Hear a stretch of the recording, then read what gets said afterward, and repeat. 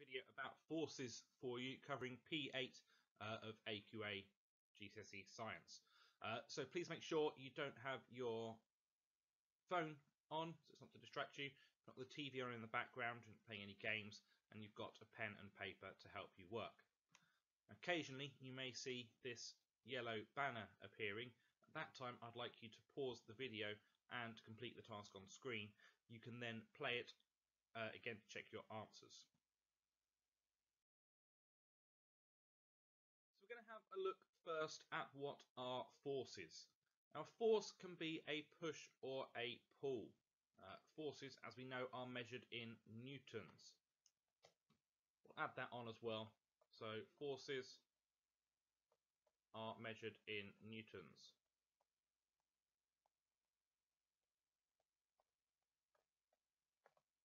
named after Isaac Newton, great scientist, we use the symbol N for newtons, a capital N for newtons. And there are contact and non-contact forces. So contact force is something where the two objects have to touch each other to exert a force, and there are non-contact forces where the two objects do not touch each other. What I have is a list of contact and non-contact forces I would like you now to pause the video and organise the forces into contact and non-contact forces. When you are done, you can have a look at the answer.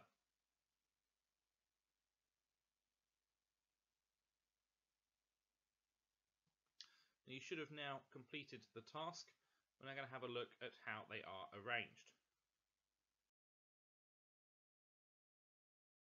So our contact forces are friction, the reaction force, air resistance and tension. And non-contact forces are gravity, the electrostatic force and the magnetic force. Well done if you got those all right.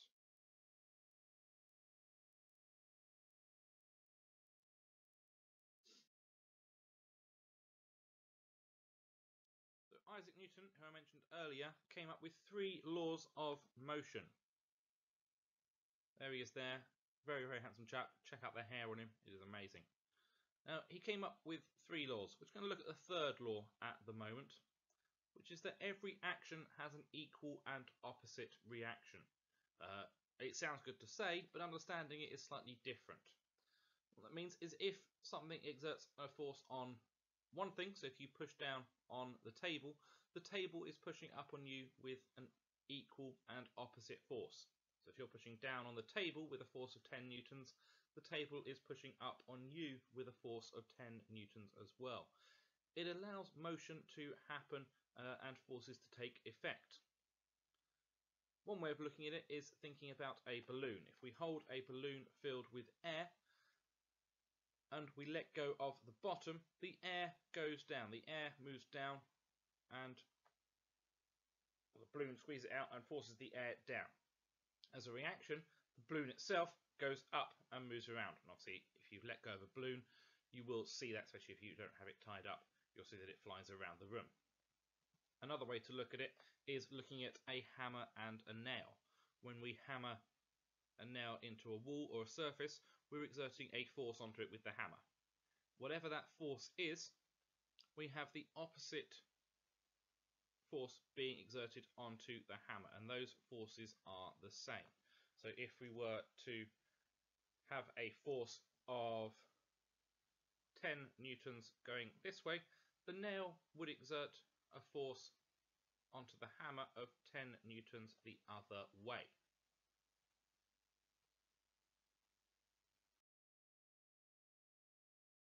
Now we always have at least two forces acting on us.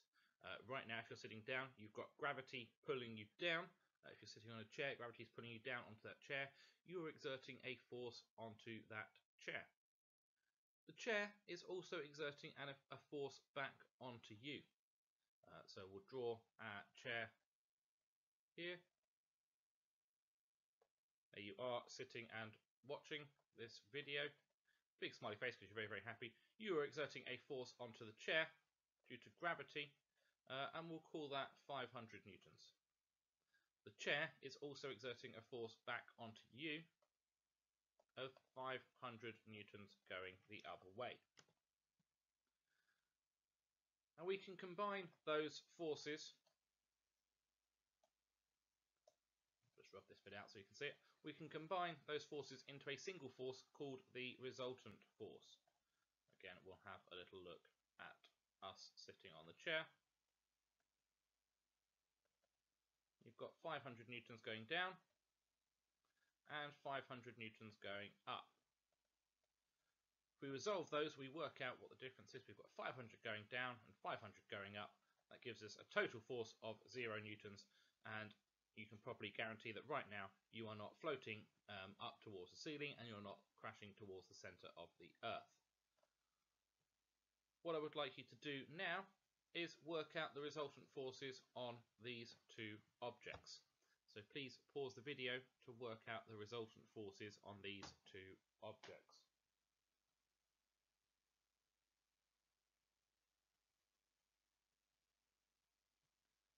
You now should have worked out the resultant forces. For our one on the left, we have a force of 10 newtons going towards the right because we have 20 newtons going this way and 10 newtons going that way. We resolve that, we're going to work out that it's going to move with a force of 10 newtons towards the right. For our one on the left, we've got 30 newtons going towards the right and 40 newtons going towards the left, which gives us 10 newtons towards the left both objects are moving and we can work out which way they're going to move and with what force.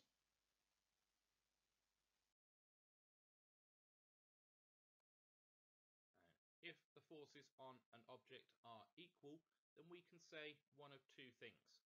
We can say either the object is not moving or the object is not is moving at a constant velocity. So either we're not moving at all or we are moving at a constant velocity. Really, it's only one thing if the object is moving at a constant velocity, because not moving is a constant velocity. That velocity is zero meters per second, uh, but we'll split it down here so that you can see it a bit clearer. So either we are not moving or we are moving at a constant velocity. Sometimes the forces are acting at an angle. Uh, and that makes it a lot harder to resolve the force. So when they're acting on the same plane, uh, so left and right or up and down, very, very easy to resolve because you take one away from the other. Having a look here, we've got a ship is being pulled by two tugboats. Uh, so this happens very often in harbours. A large ship is pulled by tugboats to bring it into position. On this we have two tugboats pulling a ship.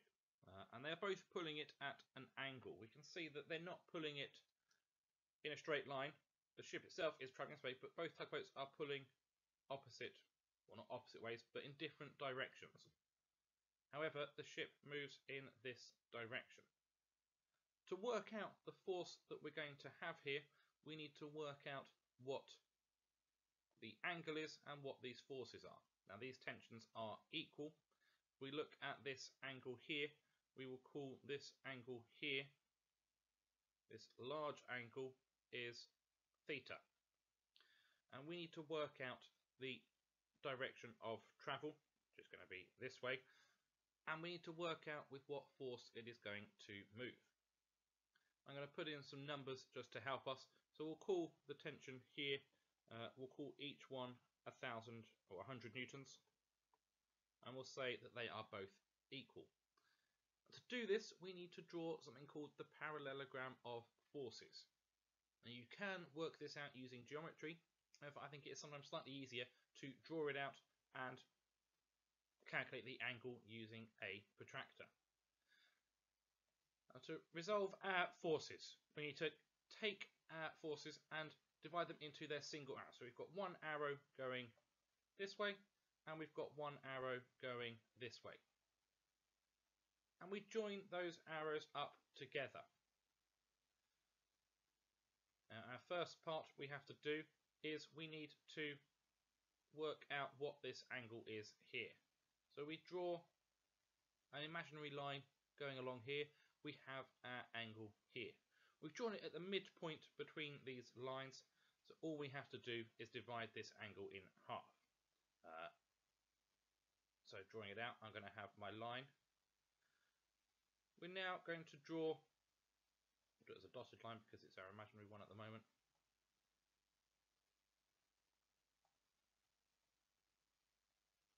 I'm going to draw my first line, so my first tension line.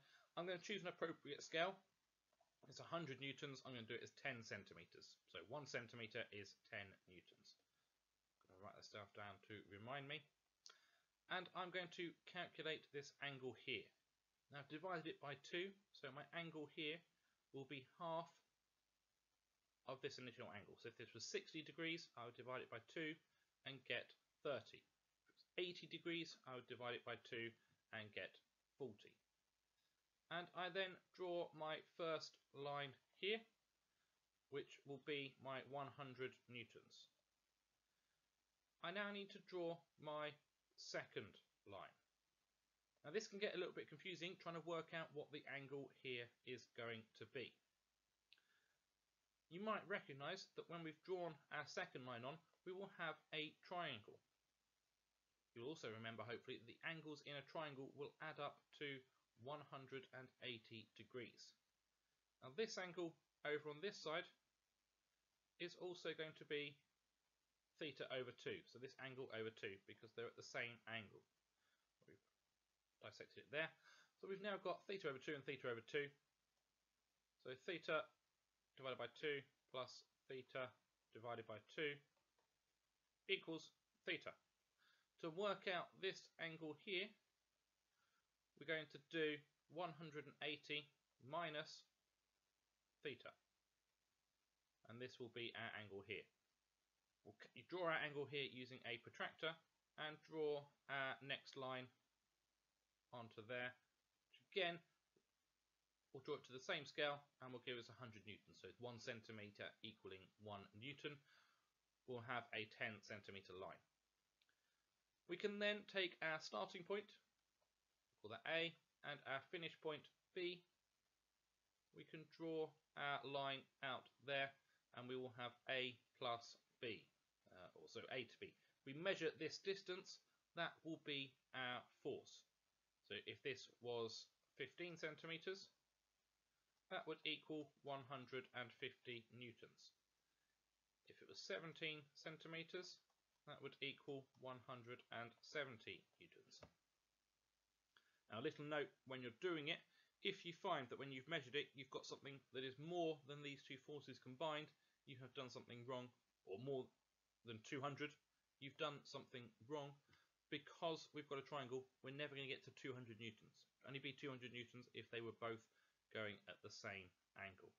So we're going to be less than 200, but we're going to be more than 100. So we're looking at a value between 100 and 200.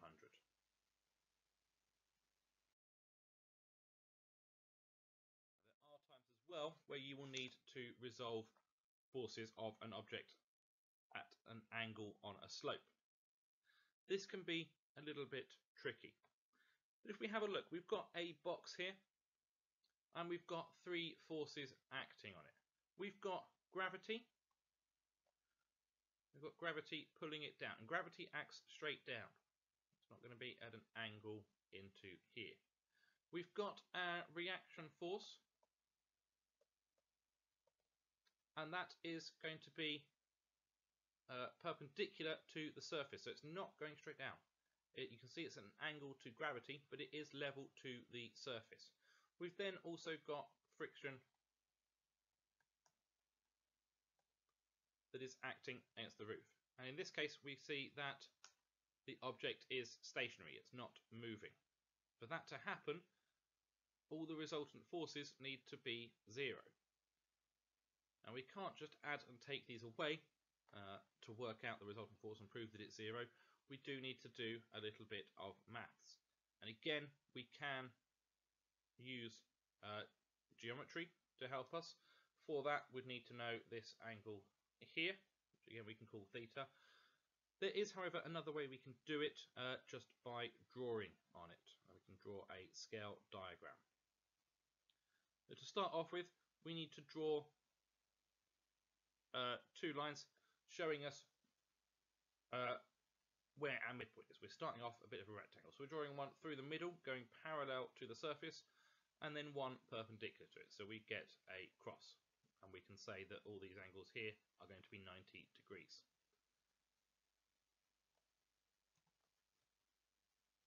We then take our force, our gravity force, and from the end of it, we draw a line along here. We have this line here, and we have our line going up here as well. Now, as long as our diagram is to scale, we can measure these forces with a distance. This force here is our reaction force. It's the same force that's up here. We've just brought it down to here, and this force here is friction. We could also draw the friction up here, and we notice that we form a perfect triangle because we form a perfect triangle, we know that our forces have resolved. It is now zero because we're going to be back to the start. We're not going to get any movement. If our friction force was less and didn't quite reach back to here, we could say that actually our object would be sliding down the roof because the friction is not enough, so gravity is going to be pulling it more we can work out where the box is going to end up by looking where our arrows will end up. All we have to do is draw our cross and then complete a rectangle around it and these forces here or these sides here will be our, the size of our forces as long as our scale is correct. And you might have to do it in using geometry, which does get a little bit more confusing, but we will cover that in another session. Um, I hope this video has been helpful for you. This is a confusing topic, but if you work through it slowly and take your time, you will be absolutely fine. Have a great day. Bye-bye.